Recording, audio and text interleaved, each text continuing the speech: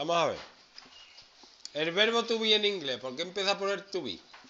¿Qué significa to be? ¿Mm?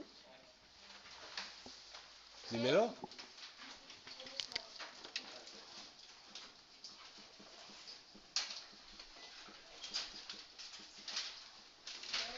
Dios. Entonces mi profesor a mí me daba una tabla. Con esa tabla yo me la aprendí y ya sabía el verbo to be. I am. You are. He is. She is. It is. We are. You are. They are.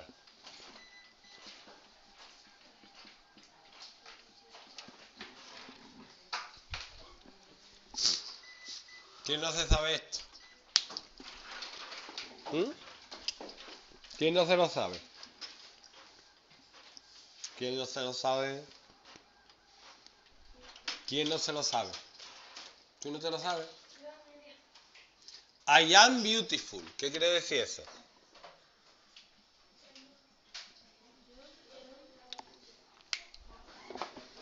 ¿Mm? ¿Qué quiere decir eso? Joaquín, aquí. I am beautiful. ¿Qué quiere decir?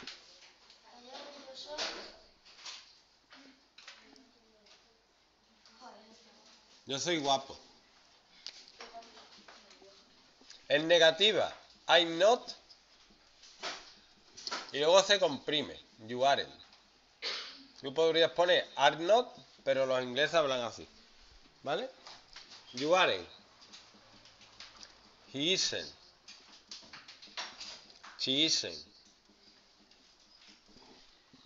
It isn't.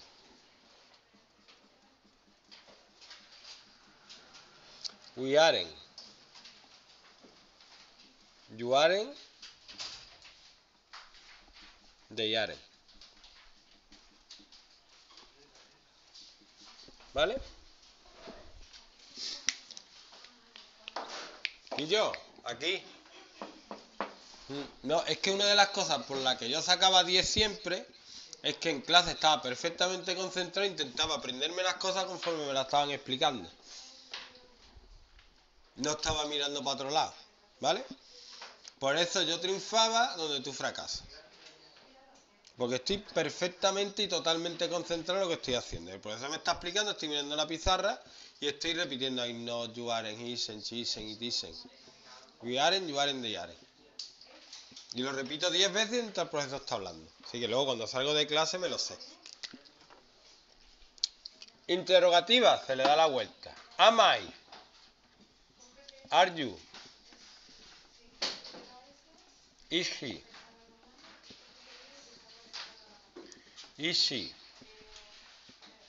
Is it? Are we? Are you? Y are they? ¿Vale?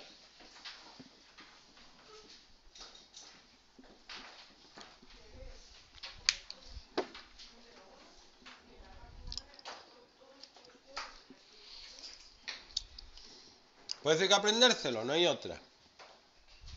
No hay otra.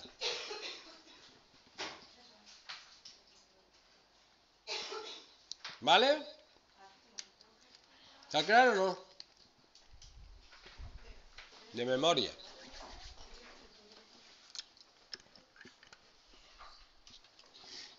¿Puedo explicar otro o no?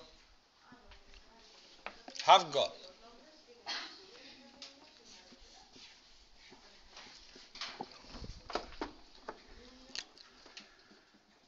Esto significa tener. ¿Vale?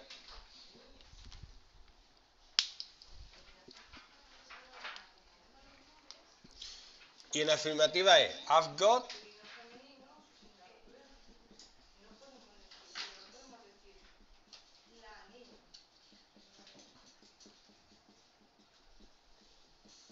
He has got, she has got. Esto quiere decir tiene.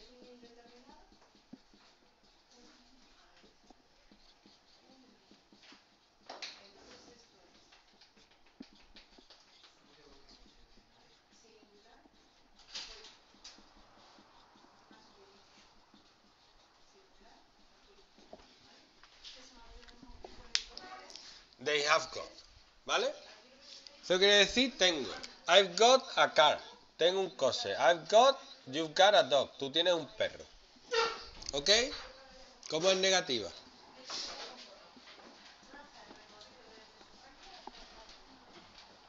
I haven't got.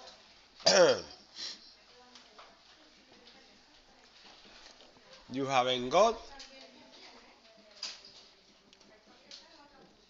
He hasn't got. She, it, hasn't got. We haven't got.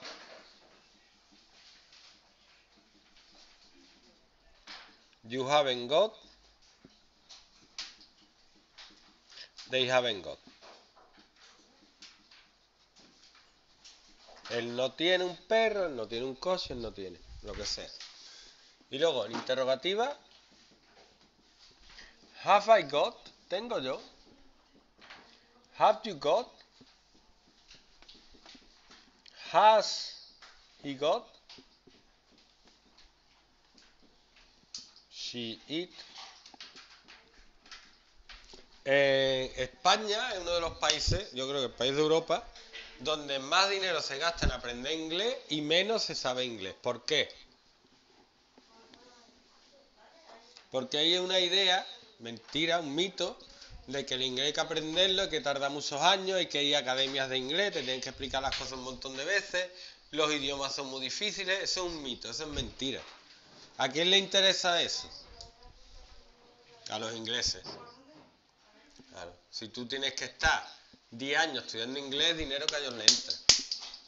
Entonces te van a decir, no te van a decir, oye, que esto es muy fácil, que esto te lo aprendes tú en tu casa en un rato, ¿eh? Que esto no hace falta que venga a la academia ni te tires 10 años aprendiendo, no. Le interesa dinerito. ¿Vale? Yo creo que esto se puede aprender. De hecho, lo puede aprender uno solo en su casa. Vídeo en internet, libros, etcétera. ¿Por qué no se aprende? Pues porque es más fácil que alguien haga las cosas por ti. Que es justo lo contrario de lo que es aprender. Aprender es que tú hagas las cosas. Para que tú aprendas tienes que hacerlas tú. Pero si necesitas a alguien que te explique cada pequeña cosa que tienes que aprender, vas a tardar 10 años en aprender cualquier cosa, es normal. Entonces, es como está montado. Esto lo podía haber aprendido ya. ¿Qué tenéis? Pues vivís en un entorno donde el inglés dicen que es muy difícil. Dicen. Que el inglés que está 10 años aprendiéndolo. Dicen. Dicen. ¿Vale? Lo que no dicen es que puedes ver la tele en inglés cuando te dé la gana para aprender.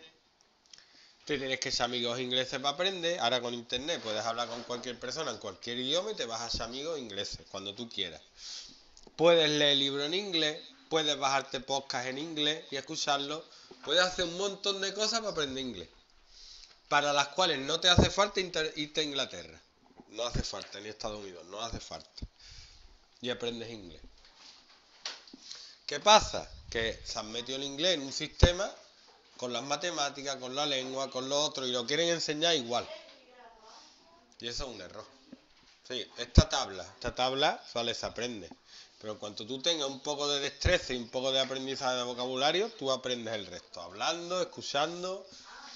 Y lo más importante para aprender inglés es que te guste.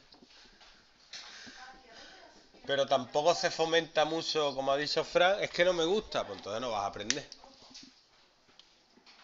Es un esfuerzo baldío, horas y horas de esfuerzo, trabajo, de explicar, de intentar hacer ejercicio para nada. Lo más importante es que te guste. ¿Por qué te tiene que gustar el inglés? No tiene por qué gustarte, ¿no? Tú tienes que buscar razones que te motiven a aprender inglés. ¿Alguna razón para aprender inglés? Para poder irte a trabajar afuera, por ejemplo, a ganar dinerito. Porque si yo sé inglés y viene un cliente, ese cliente me va a comprar a mí y no al que no sepa inglés. Solo por dinero. Para mí la razón es mucho más cultural. Yo puedo leer a los escritores que a mí me gusta leer en español, los leo en inglés que es su idioma original y los entiendo mejor. Las películas las veo en inglés. La música la entiendo, la música que me gusta. No estoy. No, no entiendo lo que dicen. Disfruto de las cosas. mi mundo es más grande. ¿Vale? Si sabes español, tu mundo es grande. Si sabes inglés, el mundo es más grande. Y si sabes otro idioma más, más grande todavía. Si todavía no tenéis razones para aprender inglés, la razón fundamental es que hay 300 millones de tías que saben español, pero hay mil millones de tías que saben inglés. Puedo ligar más. ¿No os parece suficiente razón? Conoce gente, comunicarse con gente, y donde quiere que te entiendan. Y todavía no tenéis bastantes razones. Eh, la gente que, es bilingüe eh, tiene menos probabilidad de que se le desarrollen enfermedades neurodegenerativas como el Alzheimer y el Parkinson. Es lógico, si tienes que, si trabajas más el cerebro es igual que el cuerpo. Si no trabajas el corazón te mueres de un infarto, si tú no haces deporte. Si no trabajas el cerebro te entra Alzheimer o Parkinson. Y el bilingüismo es una forma de trabajar el cerebro. Igual que leer, igual que un montón de cosas. Pero eso todavía no está de moda. Lo que está de moda es hacer deporte. ¿Por qué? Porque estás sano de cuerpo, te pueden usar para lo que quieran, pero la mente no eres muy listo, entonces te pueden engañar. Por eso hay tanto interés que la gente haga deporte, porque los tienes sanos, no gastan mucho dinero, pero los tienes tontos y puedes hacer con ellos lo que quieras. ¿Mm?